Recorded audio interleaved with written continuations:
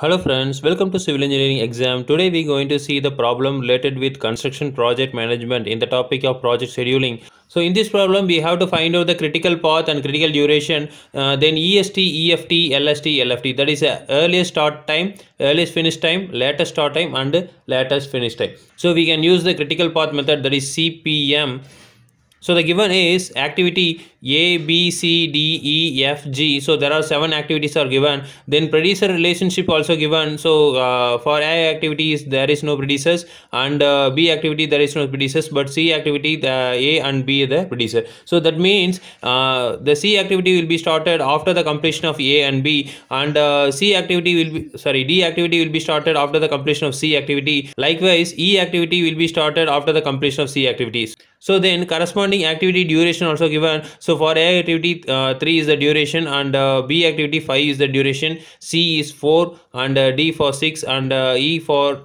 3 and for F activity 5 and for G activity the duration is 6. So now we, we can uh, form the network path. Uh, so first uh, the A and B the activity so there is no producer activity so we can uh, put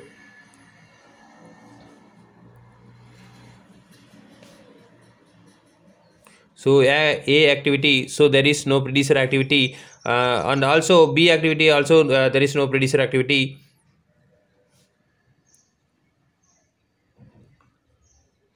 B activity. So next uh, for c activity a and b are the producers so after completion of a and b uh, we can start the c. So now uh, we draw c like this.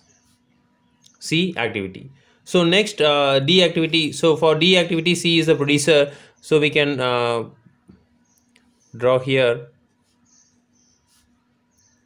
D activity and uh, for e activity also f is the sorry uh, for e activity c is the producer.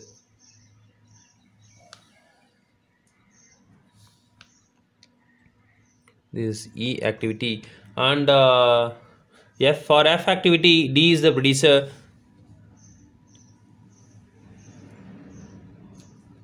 this is for f activity. Finally g for g activity e and f is the producer activity. So in e f is the producer activity. We can put over here. So there is a g. So we can write the corresponding duration a uh, 3 and 5 c for 4 and uh, d for 6 and e for uh, 3 f for 5 and uh, G for 6. So from that we have to find out the critical path and critical duration. So we, we can uh, write the path. So A, C, D, F and G.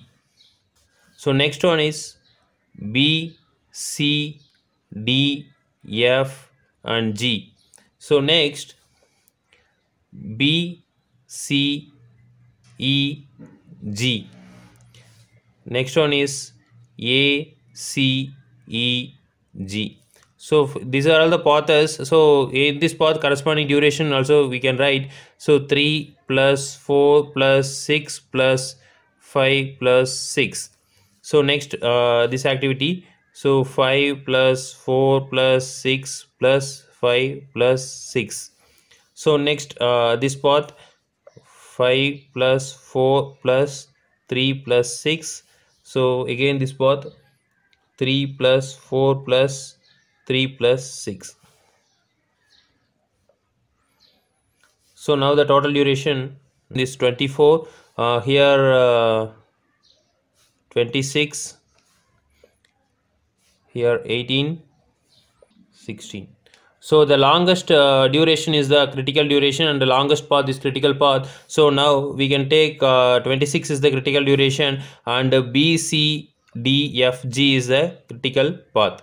So we can highlight the critical path. So b then c then d then f and g. So this is the critical path so again, we are going to find out the EST, EFT, LST and LFT of the corresponding activities. So the procedure to find out the EST and EFT, so we can put plus simple. So here EST, then EFT, then LST, then LFT.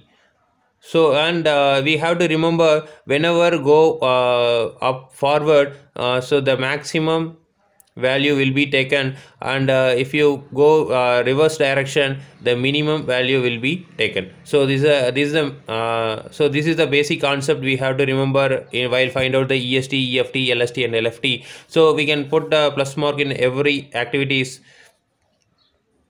for b activity for c activity for d activity and uh, for e activity then this is for f activity this is for g activity so first we have to uh, write uh, 0 so there is no producer activity so we have to we can put 0 and also we can put 0 over here. So this is the earliest start time. So earliest finish time is uh, 0 plus 3 days uh, 3 days for this a activity. So 0 plus 3 is equal to 3 and here 0 plus, uh, 5 equal to 5 so now we can uh, take in the est of uh, c activity so now we calculate the EST of uh, C activity. So for C activity, we have to know uh, the EFT of preceding activity. So the EFT of preceding activity A and B. So there is uh, 3 and 5 is there. So we have to remember. So for forward direction, the maximum duration uh, will be taken. So now uh, 3 and 5. So the maximum duration is 5. So we can put 5 over here.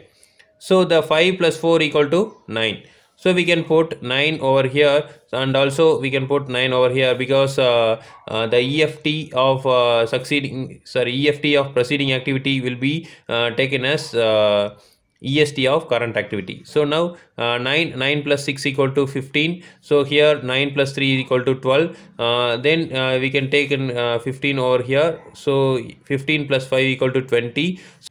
Now for G activity, the EST value is the EFT of preceding activity. So the preceding activity EFT is uh, 20 and 12. So the, this is forward direction. We have to take uh, maximum duration. So now we can put 15 over sorry 20 over here. So 20 and 12. So 20 we can take in 20. So 20 plus 6 is a 26. So this is a method we can find out the EST and EFT. So for uh, for A activity EST value is uh, 0 and EFT value is 3 and for C activity EST value is uh, 5 and EFT value is 9. For G activity, EST value is 20, 20 and EFT value is uh, 26 okay? So likewise uh, we can find out the lst and lft so now we can put uh, 26 over here. So this is the maximum duration. So 26 over here. And uh, we can uh, reduce the value. So 26 minus, uh, 6 equal to 20 so now we can take uh, 20 over here and also sorry 20 over here. Also we can put 20 over here so 20 minus 3 equal to uh, 17 and uh, 20 minus 5 equal to 50 okay we can take in 50 over here. So because uh, LFT of current activity is uh, LST of uh, succeeding activity. So now we can put uh, 15 over here. So 15 minus 6 equal to 9 so for C activity we can put LFT over here. So LFT is so LFT of current activity is uh, LST of succeeding activity. So there is uh, two succeeding activities there. So 9 and uh, 17. So uh, for uh, for reverse direction we have to take minimum uh, duration. So there is a 17 and 9 so the minimum du duration is 9 so we can put 9 over here. So 9 plus 4 is equal 9 plus uh, sorry 9 minus 4 equal to 5 so then uh, we can put 5 over here and also we can put 5 over here. So then uh, we can uh, minus 5 minus 3 is equal to 2 and 5 minus 5 is equal to 0 so the purpose of find out this uh, LST and LFT, so this is the meaning. So because uh, the latest start time, so we can start the A activity after the two uh, two days, uh, we can complete the project in 26 days. So there is no uh, lagging over here if case any lagging happened in the critical path that will be affected the project duration. Because for example take uh, the b activity will be complete uh, so b activity uh, started after one day uh, it will be become 6 and it will become 6 over here. So everything will be changed so likewise the critical path activity is uh, there is no relaxation over here. So we can uh, we can see over here. So the c is the critical path activity. So 5 9 5 9 so and also uh, we can take uh, d activity 5 9 and 5 sorry 9 15 9 15 so but uh, now we can take an uh, e activity. So so 17 and 20 so uh, there is a relaxation time. So after the ninth day uh, we don't need to start the e activity so we can start the e activity in 17 days. We can complete the project within duration. So this is the meaning to uh, meaning for lst and lft in another video we can see the float and the slack time. Okay? Again we will see next video. Thank you